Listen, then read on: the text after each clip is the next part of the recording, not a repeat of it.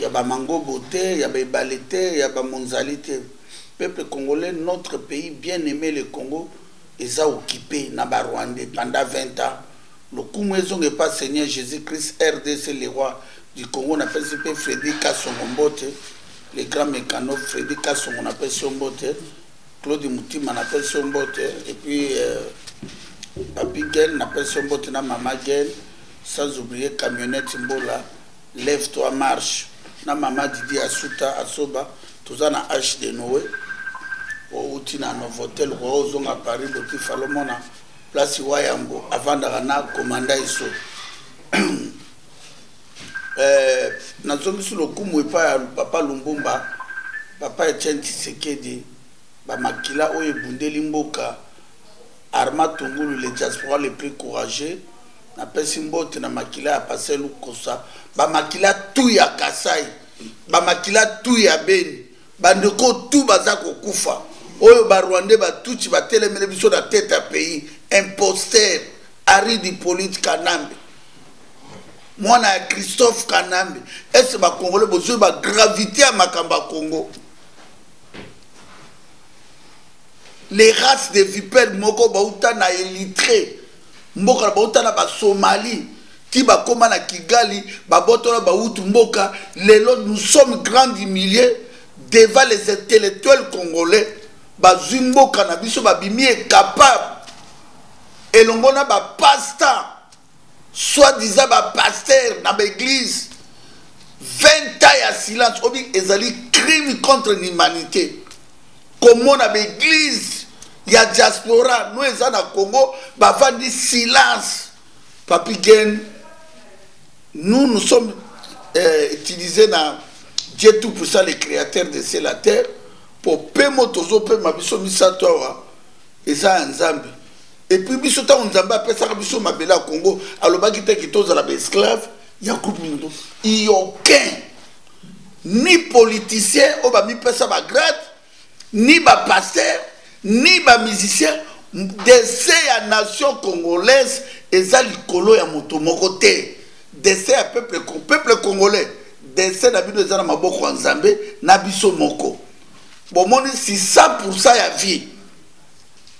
ndenge nzambe asala mokili 100 90 ya vie ezalaka na maboko ya nzambe biso tozalaka na 10 soki osaleli yango bien te okufi yango papi gen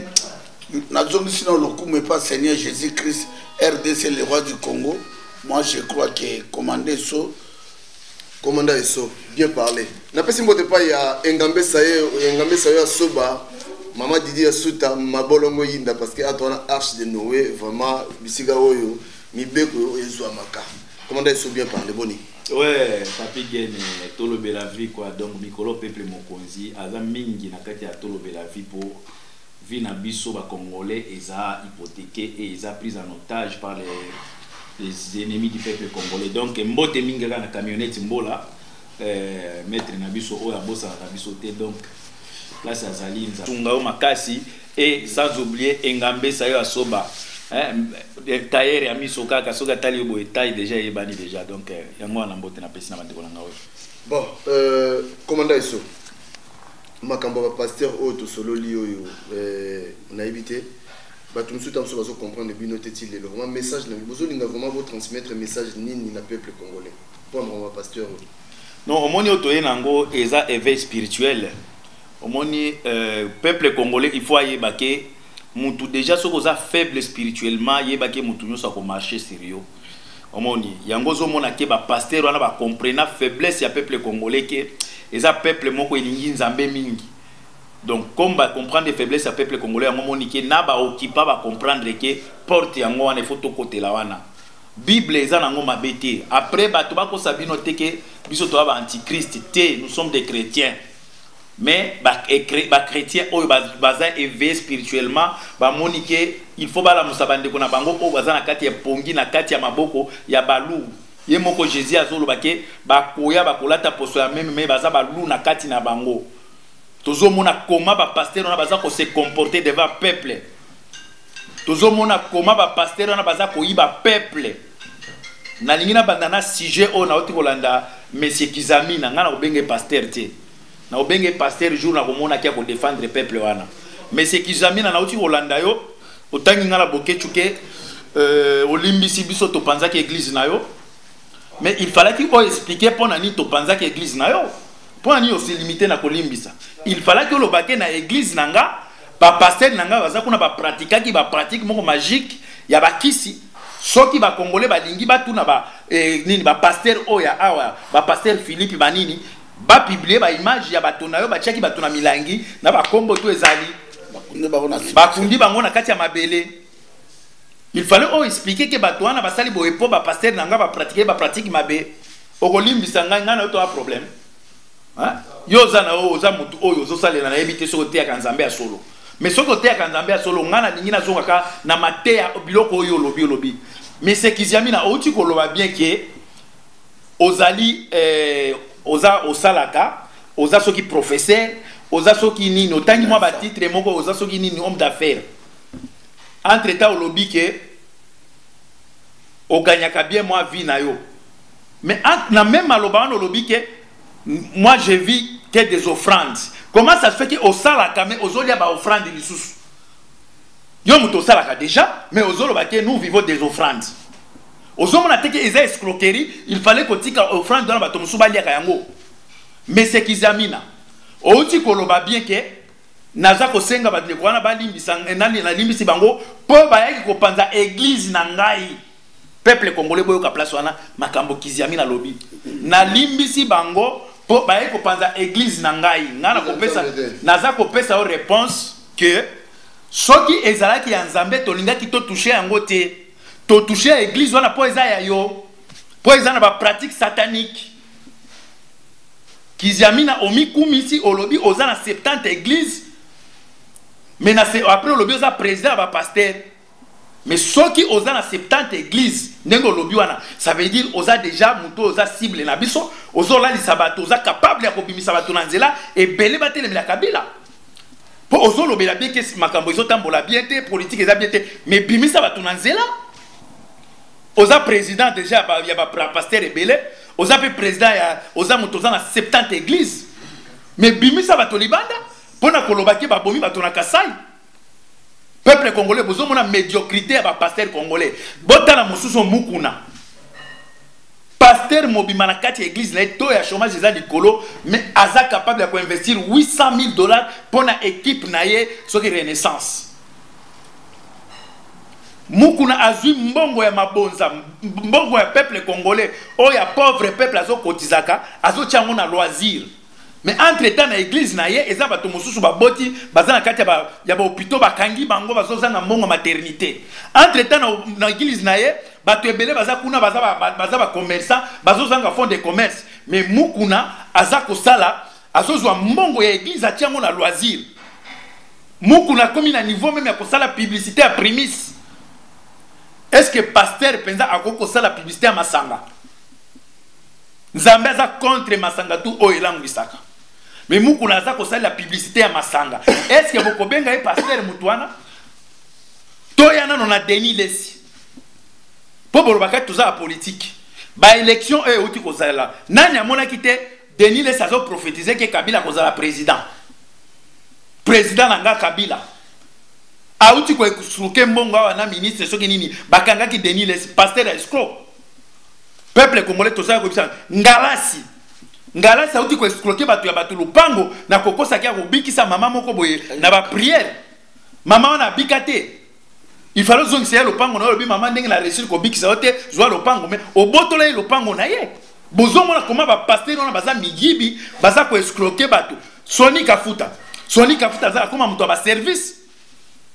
azotravaille mpo na kabila peuple congolais toza koyebisa bino toye kodenonse mabe ya bape ya nini ya baeglize wana ezala banini bakianganiste ba bango tu baza na service ya kabila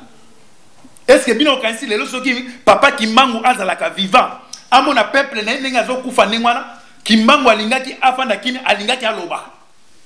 comment ça se fait que kiangana na ekipe na ye wana soki bakusu soki soki bapampa kusu wana balobaka eloko te baoboma peuple me baza koyambaka bato bawela bajibe banini na kina mai peuple koyotebisi bino na nkamba puissance ezalaka esu te puissance etila parce que ba trahisa peuple baza kosala mpona peuple te bazosala mpona mabumu na bango message eza moko peuple congolais bapaster oyo ya poto toyebisi bino paster philippe tosolaka na yo bien mais biso na makambo ya komba tozala camarade te yo nde toyebi ke toyebi ke boza mwa bagroupe ebele mais yo toyebi ke oza président soki ya bapaster ya, ya, ya, ya bruxelles awa sala tout bosangana bokutana na biso avant makambo oyo ezwa ampleur mosusu Po awa tozoloba eza lokola blague. Mais tango to agissaka, bato balelaka biso na biso tokomi kobomana. Mais awa toza koloba, Pasteur Philippe, oyebi ke tosolaka na yo bien. Bo s'organiser déjà kangisa bato na yo. Boya kokuta ba combattants, toyeba nini tokosolola pona ba marche, bozala présent. Oyo akotia mutu makasi. Oyo akotia mutu makasi. la première des choses tokokende na police tosengi sitting liboso ya église na yo la deuxième chose on va faire, on va faire l'appel international ya bacombatant tout tokosala sitting epai na yo yo moko komona makambo ekoleka e soki borespecte te tokobanda no na bapaster oyo ya baprésident mpo bamosusu babanga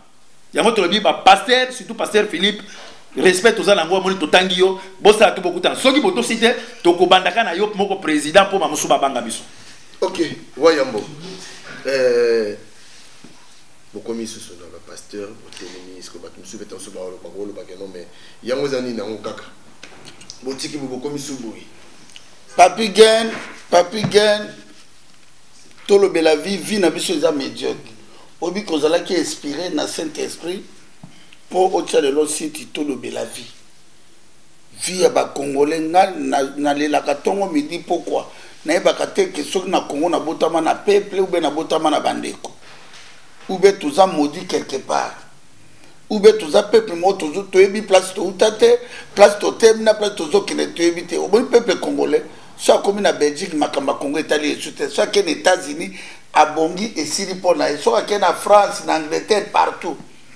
peuple congolais na bitumba to tobundi to tozobunda to toza kocontinue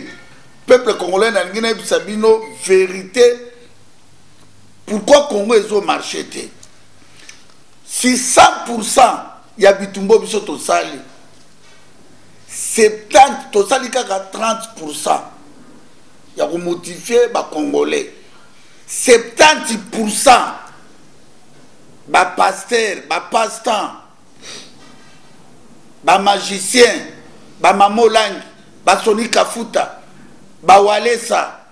basoni kafuta bamukuna bamarcelo bamamba sikatendra na bapasero ya libanda bakangi peuple congolais en otage papi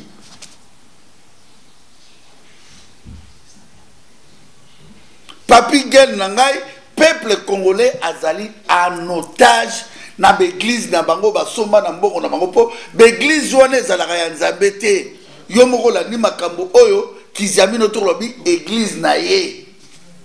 me nga nde nayebi l'histoire ya david davidi na mwana na ye salomo nzambe alobelaka davidi ke yo kotongela nga temple te moto akotongela nga temple ezali salomo me lelo bapaster wana marcelo ngalasa kakenza euh, mamba sikatende denis lese carolat mokonzi ya carolat ya limete contrat oblige ya 10 ans est ce que boyebi te ke moto azodirige bino nkombo na ye aridi polite kanambe aza rwandais peuple congolais est ce que mama olangi ayebi te ke kanambe aza rwandais est ce que simon kiangani simon kiangani na kamba oyebi te ke moto wana aza rwandais nkombo na ye nkombo ya papa na ye christophe kanambe nkombo ya mama na ye marceline ndeko na ngai simo kiangani estce oza kocomprendre dega ya congo sikoyo bitumba tu papa kimbangu asalaki 30 ans ya prison na katanga bitumba ya lumbumba simo kengani oteki kongo mpo na mbongo yango na mai ya kamba puissance eza lisu te puissance ekozonga mokolo biso tokozonga mai yana ata bosukoli yana ti bosukolaka na pisine na ndako peuple congolais Diaspora ya Belgique, ya France, ya Londres, ya Suisse, Italie, États-Unis, Afrique du Sud, partout. Est-ce que bozomona te ba passer diaspora baboyi koloba verite? Peuple ya ndenge nini nzambe na ngai pe nzambe peuple ya ndenge nini toza ba nzambe naluki nayeba ndenge bacongolais bali nazokoma te grave grave nakokufa mpe nakwei natiki bitumuna namona nano peuple ya boye te peuple ya ndenge nini seigneur peuple ya ndenge nini bazoboma bato mpe bato bavandi silence koto na poto basi mitakala batatuage na mabele koto kuna bapaster ba kindumbise bekobise ya silence peple ya ndenge nini oyo naza na site eleki na ngai john image john image na états-unis napesi yo mbote napesi mpe balianga ndo aza na vakansi awa na ndeko na ngai fredi pepe kongole nayebi te bapaster diaspora na bible ngai nazozongisa bino na bible kobanda genese ti apokalise nzambe alobaki akolongola te akobakisa eloko te nzambe alobi soki libota mosusu eye kobundisa libota mosusu mpe botiki babeta bino baboma bino libota wana ezali modi me lelo aridi polite kanambe rubero rwandais tutsi batiki kigali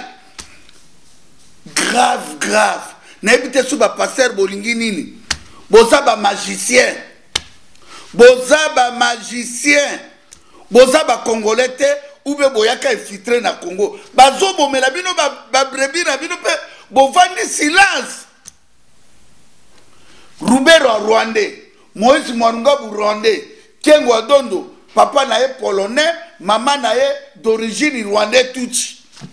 Donc biso grande nation lokola Zaïre tovandi kaka boye babotoli biso mboka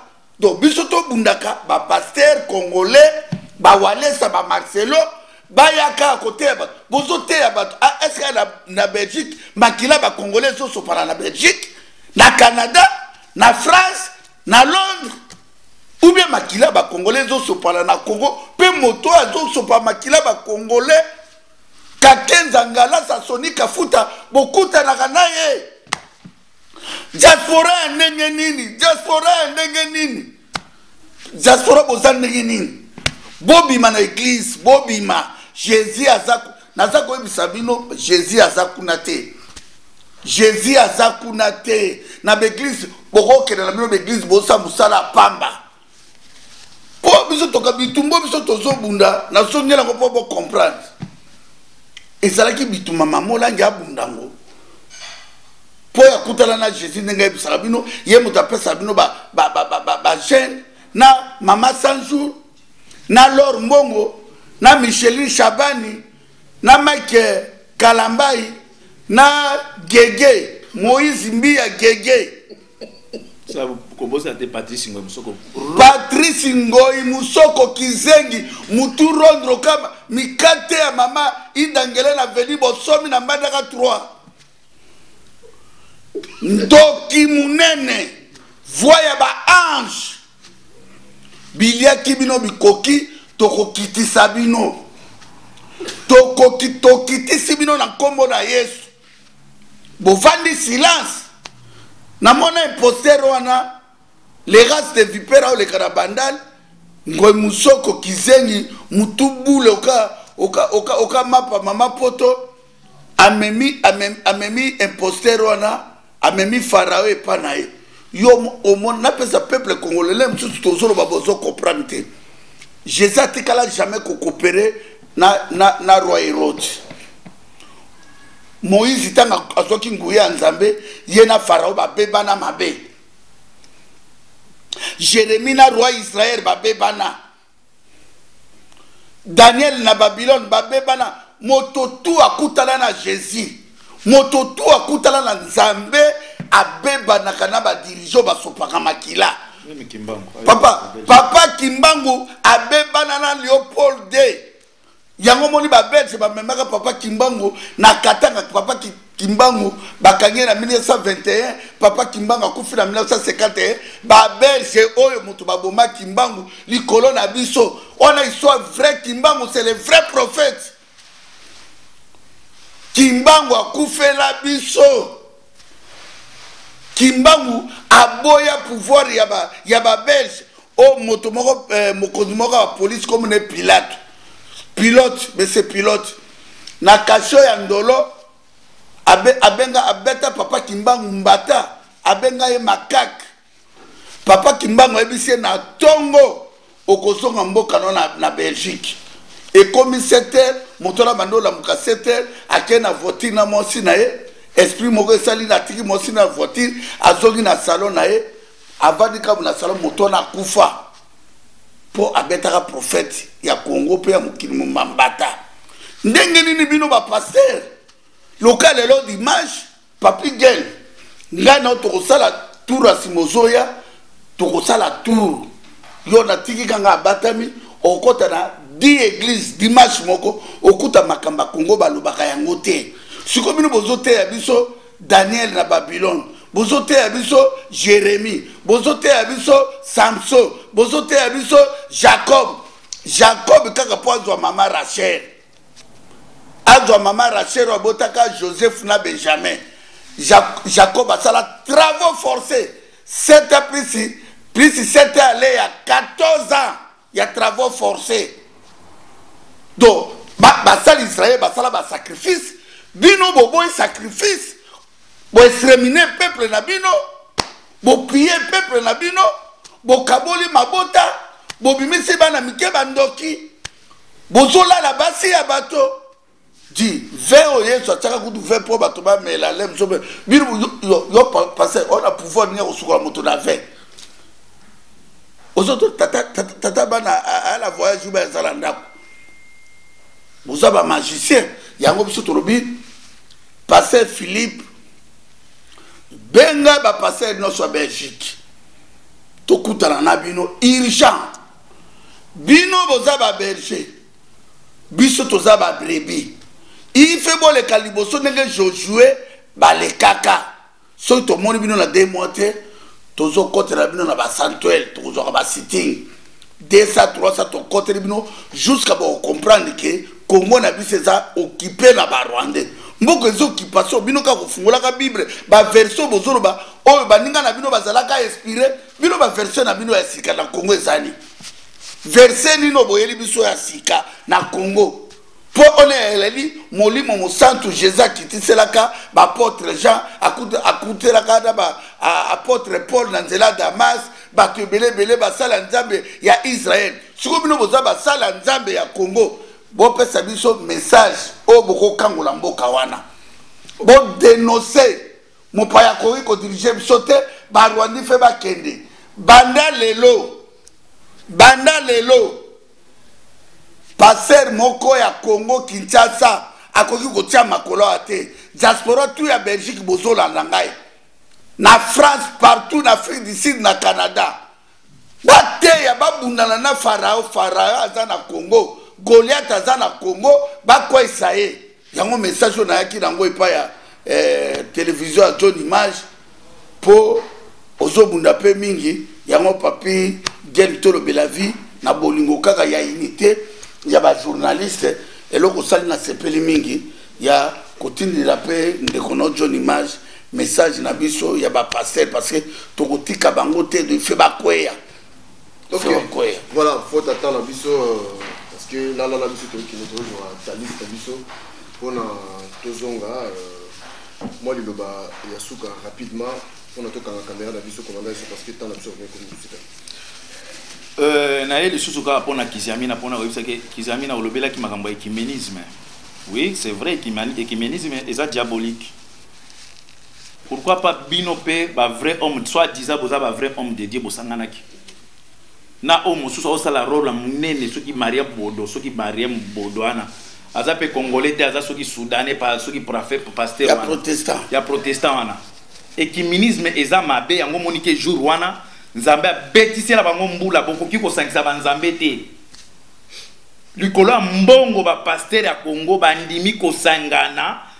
na ba eglise mosusu bazosambela ba nzambe différent donc message eza moko ke peuple congolais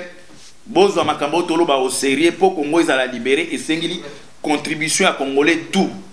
mais bapaster bamitiaka à part à l'écart ke baza bahomme spirituel entre temps bazoyeba te ke bible ezoloba ke un esclave ne peut pas prier son, son, son maître libre et son dieu libre s'il est esclave soki oza esclave okosambela nzambe no libre te botala lelo boza kokoloba verité te parce que boza baesclave ya barwandais bokomi koprefere boloba mensonge place koloba verité parce que boza baesclave ya bato moko boye bomoni ke bible ekosaka te boza baesclave lelo ya barwandais yango moni bakoki koloba verité te ozobanga soki nalobi rwandais akobotola nga ndako soki nalobi rwandais akosala nga boye donc message eza moko tobandi na bino oyo akose entete oyo ya kose entete pete bokokanisa tokosala ba théâtre tosukeli wana ok voilà euh, nde nayebisi bino bokolanda émission oyo lisusu ntango mosusu na tolobela vie mais eza émission ya john image tv oyo ya mama na biso patricia ntumba napesi encore un grand merci na mama didi asota mama didi asuta oyo nabengi bien mabolongo eyinda oyo vraiment yambi biso vraiment euh, ya na ngai kulutu engambe sayo asoba soki yo te me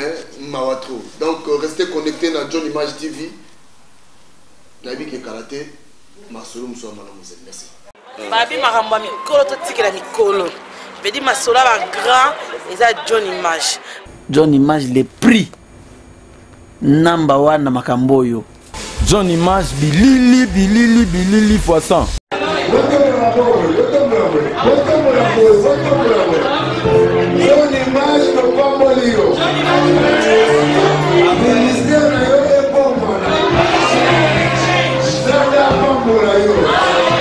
vraiment nzambe mpenza pambola mosala ya john image john image tv ndenge balobi donc